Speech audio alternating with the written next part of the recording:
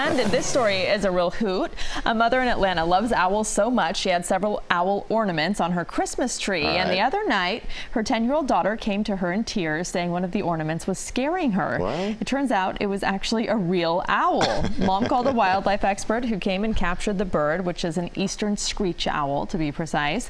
It was likely living in the tree all along and was in the family's home for more than a week. It looks comfortable though, right? It does. Found a good home. I guess it wondered how come the other owls are ignoring me? They're not saying anything.